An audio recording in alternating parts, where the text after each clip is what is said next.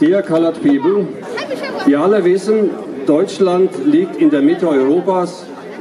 Im Laufe der Jahrtausende sind schon viele Völkerschaften durch dieses Land gewandert.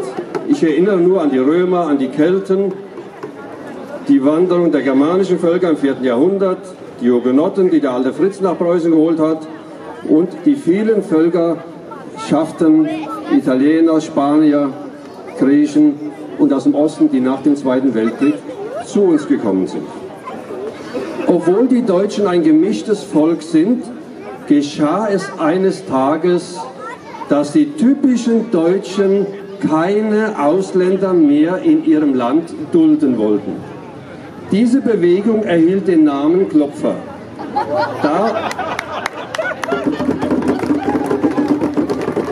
da sie ihre Forderung wie dieser hypothetische Hase in dem Film Bunny von äh, Disneyland immer durch Klopfen und Briefe schreiben ihre Forderungen unterstützen.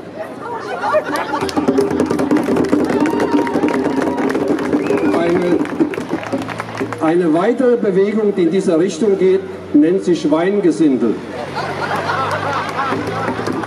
Und äh, ich müsste allen Menschen, die das Wort Wein in ihrem Nachnamen haben, sagen, Wein kommt von Vinum, Neutrum Latein. Also ist gar kein deutscher Name. Sorgen Sie dafür, dass Sie einen deutschen Namen kriegen, wenn Sie schon sich für Weingesindel einsetzen.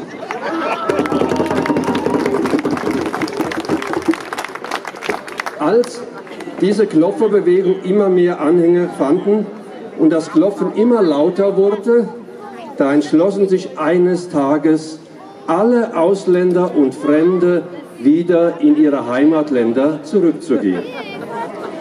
Die Kaffeebohnen machten den Anfang. Sie kehrten nach Mittelamerika, in die Karibik, nach Südamerika, Afrika, Asien und Australien, so den pazifischen Raum zurück.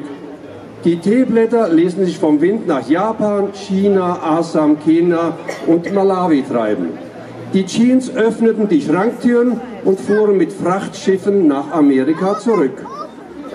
So, sie wurden begleitet von iPhones, von Dell, Hewlett, Packard, Apple-Computern und Laptops. Auch die Kartoffeln, Tomaten, Maispflanzen, Sojabohnen, Tabakblätter packten ihre Säcke und schifften sich in Bremerhaven ein.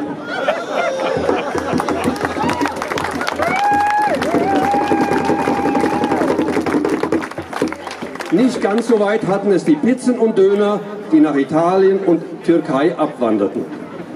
Die Weintrauben, die die Römer eingeführt hatten, erinnerten sich an ihre früheren Heimatländer im Mittelmeer. Auch die christlichen Kirchen konnten schließen, denn Jesus flog mit der nächsten El Al nach Israel zurück. Und, und damit war ihnen die Lizenz, im Namen Jesu hier zu predigen, entzogen. Dieser Affexit dauerte ein Jahr. Sie kennen den Brexit. Bei dem Brexit, da wandern nur die Briten aus. Beim Affexit wandern alle Ausländer und Fremde aus. Die Holländer, die Franzosen, die Spanier, die Afrikaner, die Asier, alle wandern aus. Das hat ein Jahr gedauert. Zurück blieben nur die Bewegung der Klopfer und das Weingesindel.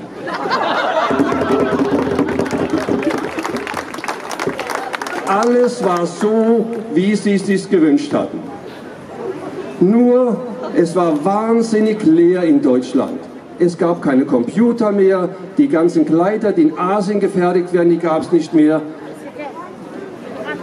Und es war wahnsinnig langweilig. Denn wo sollte man sich treffen? Die ganzen Restaurants, die Eisdielen, alle hatten geschlossen. Wollen wir in einem solchen Land wo es so langweilig und leer ist, leben? Fragezeichen. Sie sehen, meine Damen und Herren, auch die Kaffeebohnen haben einen Migrationshintergrund. Auch die Kaffeebohnen haben einen Migrationshintergrund. Auch die machen was mit, nicht nur die Menschen. Und da gebe ich Kloffer recht. Gehen Sie mal in die Altstadt und schauen sich mal die die Cafés an. Die sind überflutet und überschwemmt von Kaffeebohnen, von diesen kleinen, von diesen kleinen braunen, schwarzen Dingern. Die ganze Altstadt, die Cafés sind überschwemmt davon. Schauen Sie sich das an. Und deshalb rate ich Ihnen, mein Appell an Sie, sorgen Sie dafür, dass diese Bewegungen, die Klofferbewegung und die, das Weingesindel in Zukunft von diesen kleinen Bohnen verschont bleiben. Denn ich bin sicher, wenn Ihnen das Wein, das Kaffeetrinken verboten ist, lösen Sie sich von selbst auf.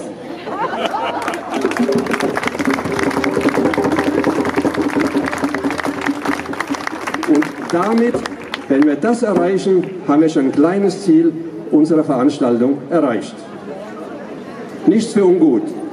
Nach dieser Veranstaltung gehe ich als erstes ein italienisches Eis essen und dann trinke ich eine dicke, große Tasse Kaffee. Die Bohnen kommen wahrscheinlich aus Eritrea oder Peru. So ein richtiger, so ein richtiger äh, Arabica-Kaffee ist doch was Feines. Vielen Dank.